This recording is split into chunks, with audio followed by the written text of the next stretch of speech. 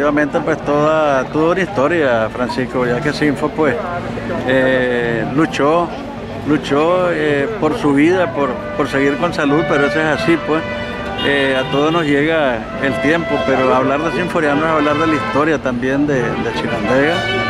Y hoy pues tiene que partir y ni modo, hermano. Sí, porque imagínate en el magisterio, pues él hizo tanto, él era un hombre polifacético en su vida porque él le hacía de todo, él, tocaba en las misas, él daba clases de inglés, daba clases de educación física, hacía equipo.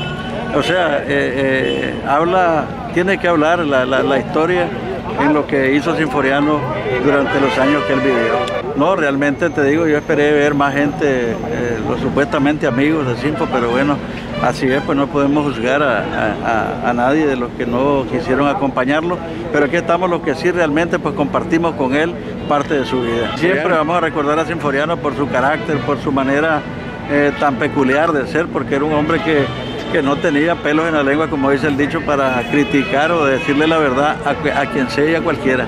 Pidiendo un gran amigo en el cual tuve el placer después de conocerlo desde muy joven. Así Furiano lo conozco desde la edad de unos eh, 16 años. Desde 14 a 16 años lo conozco y casualmente lo conocí en esta plaza del Calvario, cuando nos reuníamos aquí eh, los grupos Scouts de Chinandega. Él perteneció al grupo Scout de la San Cristóbal y yo dirigía al grupo Scout de la, de la Gateite. Pero posteriormente pues yo fui comisionado del departamento de Chinandega y este, por el, la insignia grande que yo tuve dentro del escultismo y él fue, llegó a, pertenecer a la, alta alcurnia de los elefantes blancos con grandes conocimientos del escultismo. Luego Sinforiano, este, sus estudios y todo, se preparó y fue un gran profesor de inglés. Eh, tiene muchos eh, alumnos que lo tendrán que recordar, como ayer conversaba con, con varios me decían, a mí me dio clase eh, el profesor Mayorga de inglés y hizo muchas generaciones en cuanto a su magisterio. Dentro del escultismo pues también fue forjador de, de, grandes elementos jóvenes y posteriormente después del magisterio, pues como vos debes conocer, se dedicó a la crónica deportiva. Es el cronista más más veterano, veterano ¿verdad? De, de, de, Chinandega y con grandes conocimientos. Decía la verdad y por, por, eso se ganó muchas enemistades, pero no tenía pelo en la lengua para hablar. Eh, Fíjate que eso estaba comentando yo con Carlos Ruiz y, y Enrique Leiva, ¿verdad? Que, que, que, es lastimoso, pues la pandemia yo sé que esto nos limita a, a muchas cosas, ¿verdad?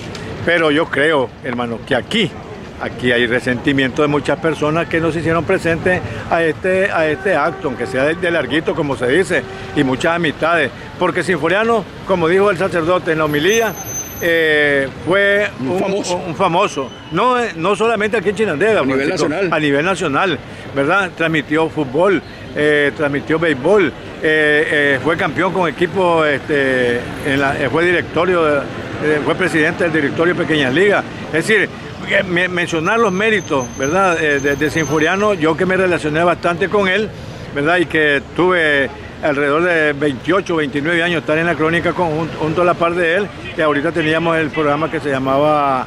Eh, resumen deportivo. Resumen deportivo, por la tarde de 5 a 6 de la tarde en Radio Somos Estéreo. Eh, es decir, hablar de él es, es una leyenda dentro de, dentro, dentro de su vida particular, con su vida social, pero verdaderamente, como decís vos, es lastimoso, lastimoso que muchas personas que no, lo hayan, eh, no le hayan dado el último adiós de su vida. Momentos difíciles que hemos vivido las últimas horas, los últimos días, con muchas noticias lamentables, pues sin duda alguna pues es doloroso y complicado. Sabemos que Sinforiano estaba, estaba luchando por seguir viviendo, lamentablemente pues llegó el momento que todos tenemos que pasar. Sin embargo, chicos, me siento con un dolor y una decepción total.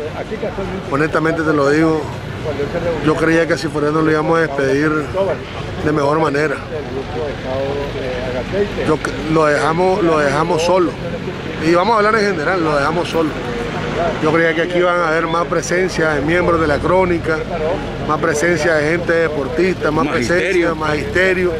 Sabemos que la situación del COVID no es nada fácil, pero creo yo que con sus medidas necesarias se podía respaldar y despedir a una persona muy polifacética y en muchas actividades deportivas, escolares, música, pero creo yo que sí nos quedamos cortos como chinandegano y despedir a una persona que realmente la reconocía en nuestro departamento.